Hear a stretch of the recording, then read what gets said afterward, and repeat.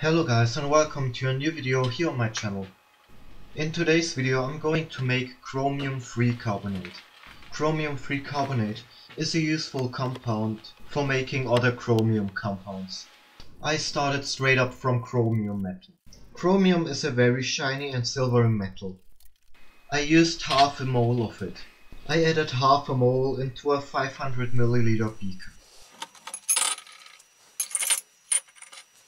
To this I then added 300 milliliters of 30% hydrochloric acid.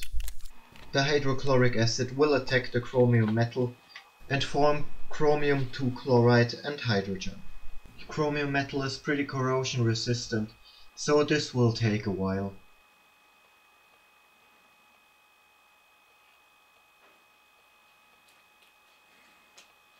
Here's how it looks after one day. There were still pretty big chunks of metal in there, so I left it to stand for a few weeks. After two weeks there was no metal left. I was left with a dark green solution which absorbed light pretty well. I tried adding sodium carbonate, but after neutralizing the rest of the hydrochloric acid, nothing really happened. So I added half of it into another beaker and used heat and stirring to get the reaction going.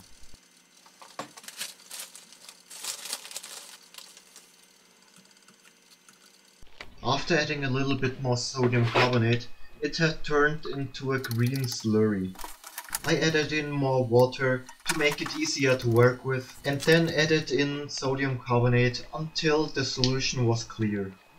The sodium carbonate reacts with the chromium(III) chloride to form chromium(III) carbonate and sodium chloride. I repeated this procedure for the other half. Next I had to filter this. For this I used one of my largest funnels.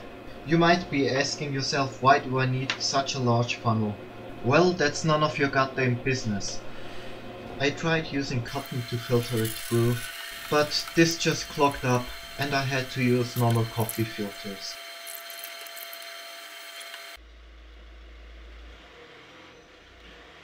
After everything was filtered, I was left with two filter papers full of material.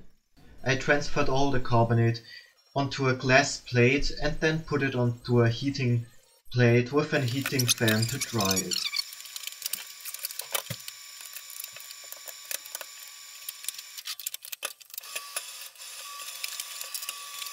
The dried material was then put into a container and weighed. For my reactions I got a 93.5% yield, which was good enough. So I hope you liked my video, bye.